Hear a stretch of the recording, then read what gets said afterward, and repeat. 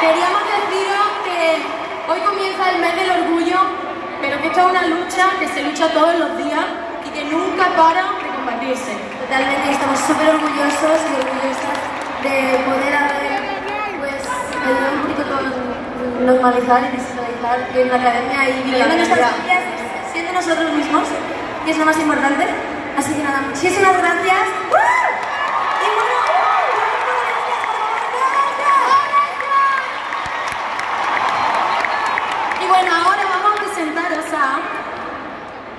rồi nó đi đó.